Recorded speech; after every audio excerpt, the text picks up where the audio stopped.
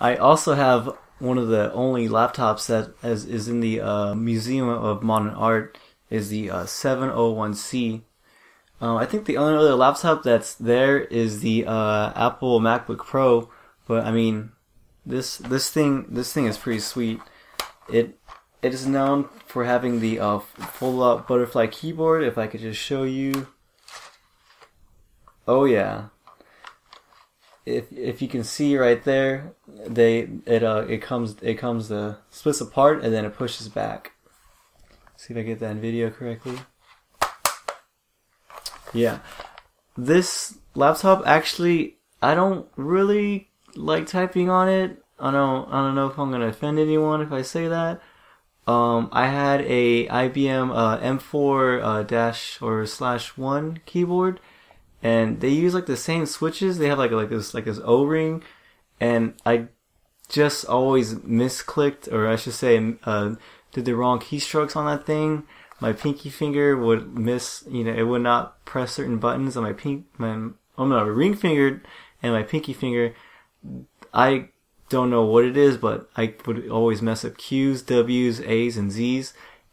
So, um, like the 235 that I have, um, you're not set, you're not sacrificing the screen size for the uh, keyboard size.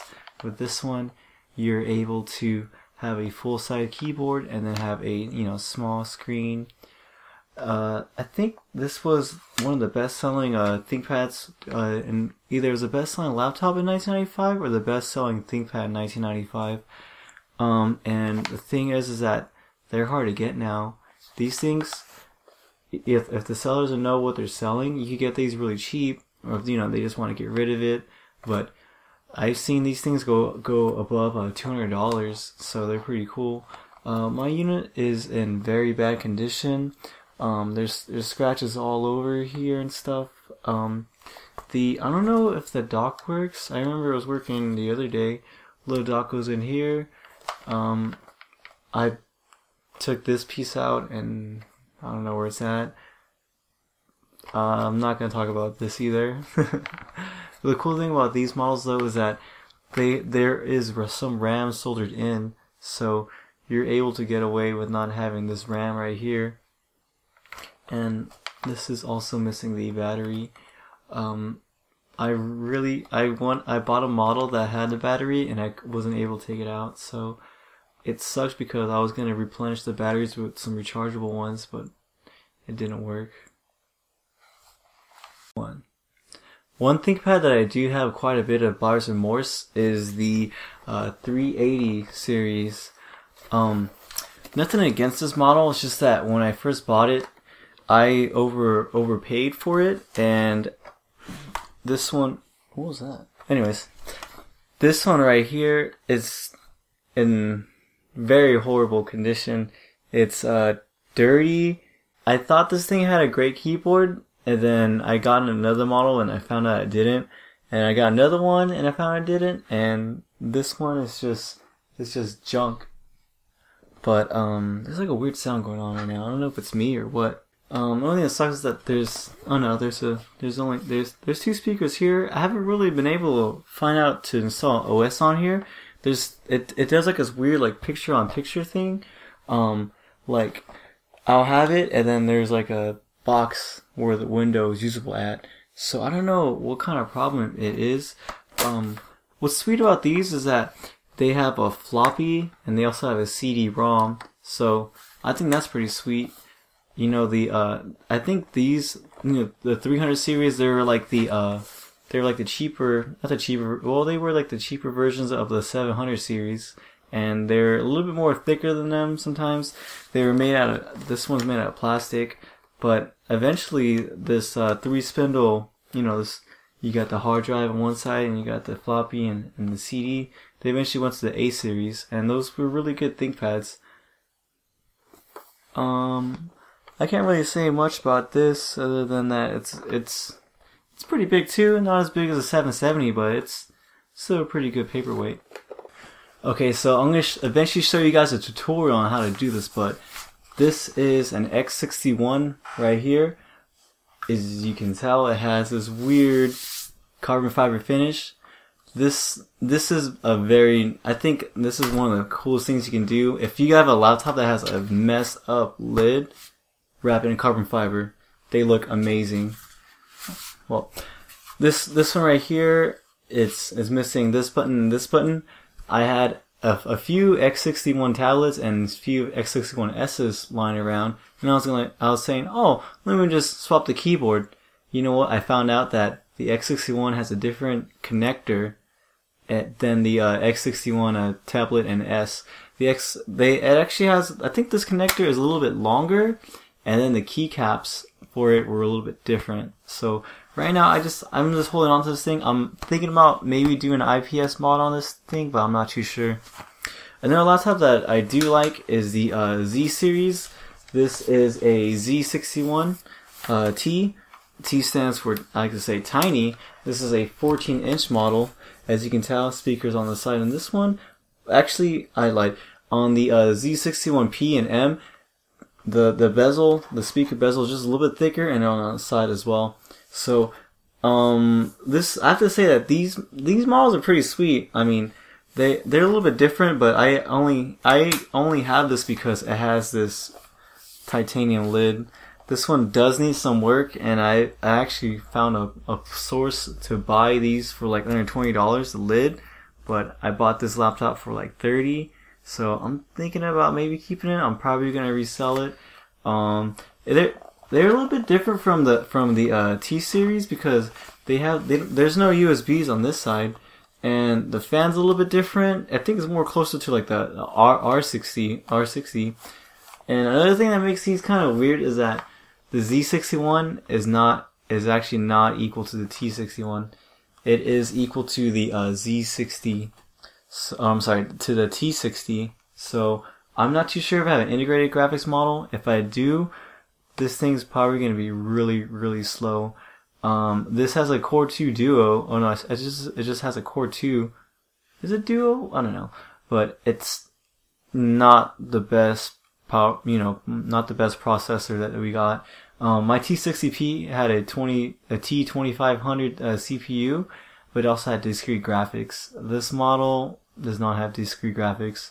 If you get the Z61P though, you get a WXGA screen and you get, you know, the performance of the T60P. I'd go for that one, but this one was, you know, 14 inches.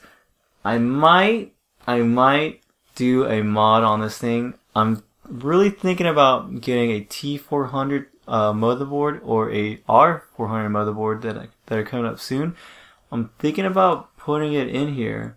Um, the frame is a lot different and it's to be a big challenge, but I might do, I might try it. You know, what I got to lose.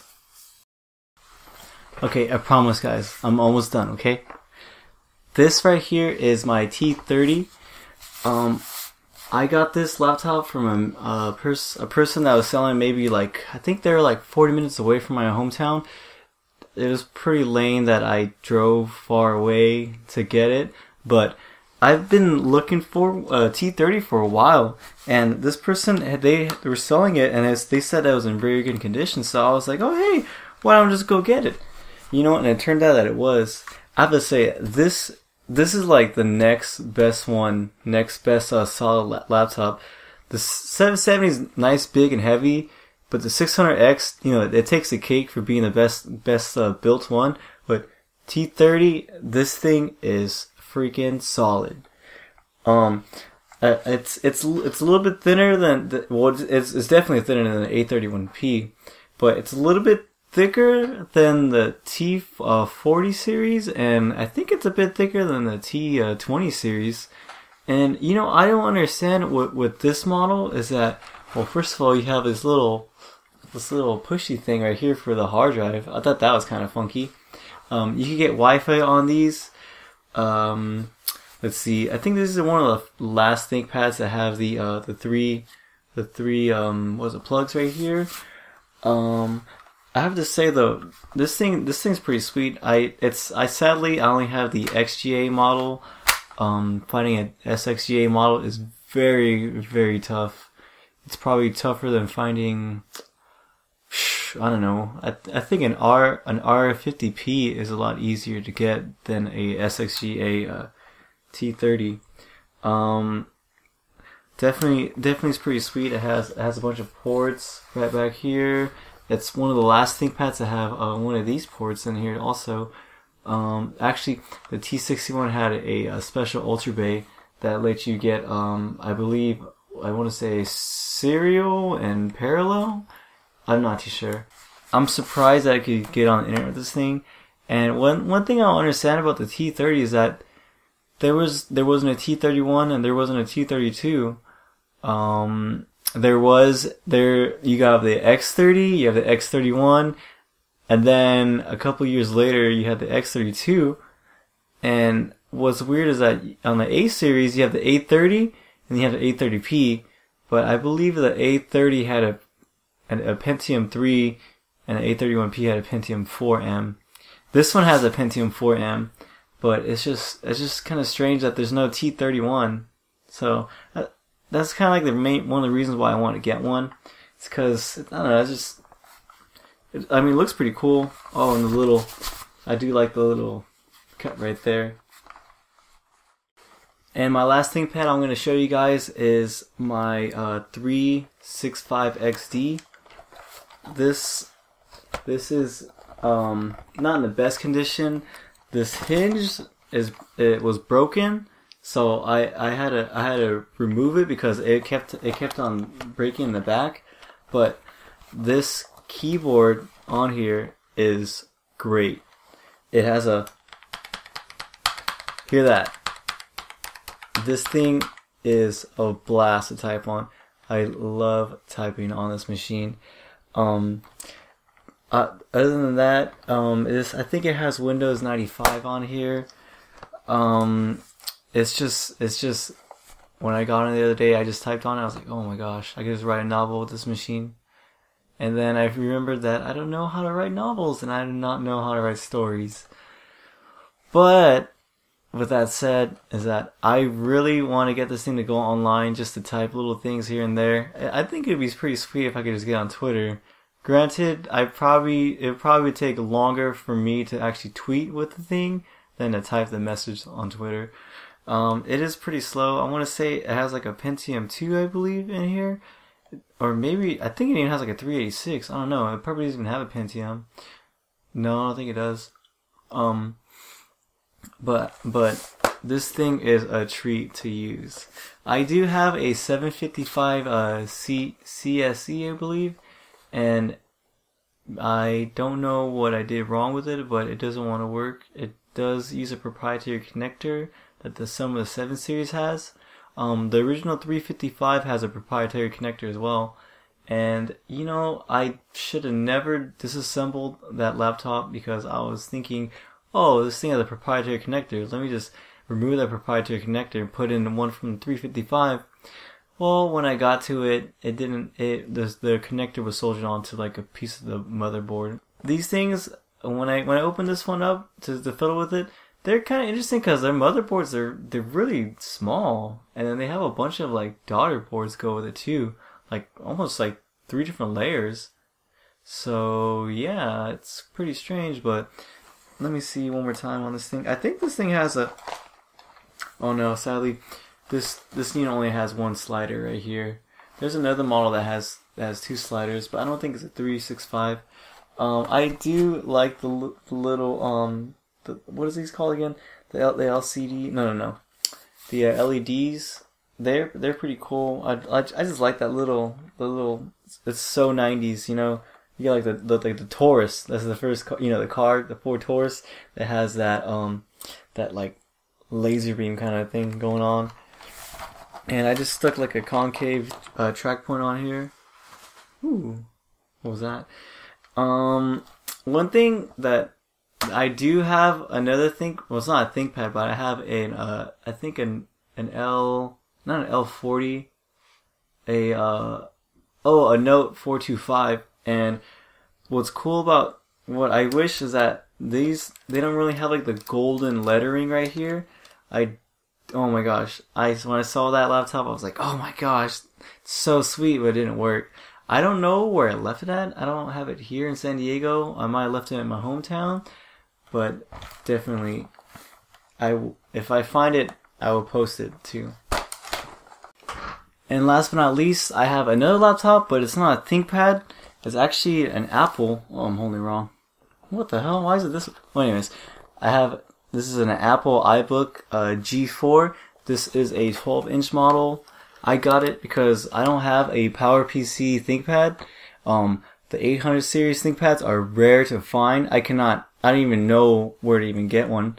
Um, so I got I got this.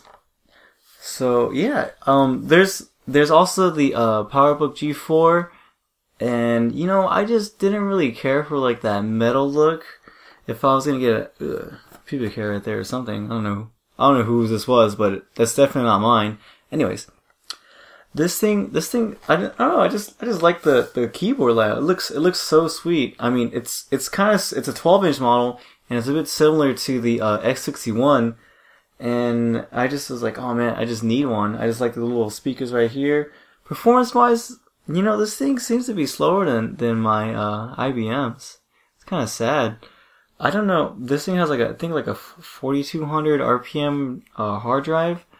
Yeah, I don't know if I want to get a, a set a PATA SSD for this thing yet, but but otherwise, you know, this thing it's it's pretty cool. It has a crappy XGA screen.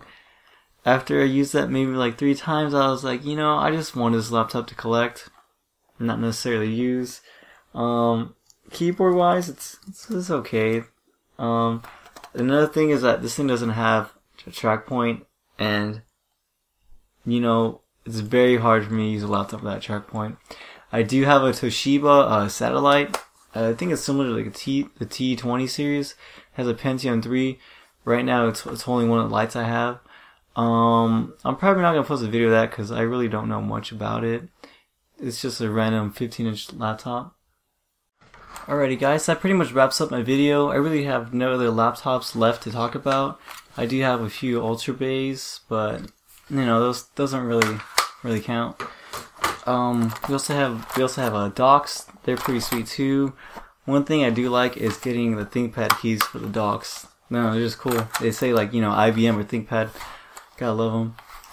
And that's pretty much it. So if you guys would like to like, comment, and maybe subscribe, I saw there's some people that subscribed my first video. Thank you very much. I hope you guys would like these videos, and maybe not. You guys would just like to troll the comment section. Okay, no, don't do that. We don't want that. Um, let me know what you guys think. Uh, there's I always have a project to work on.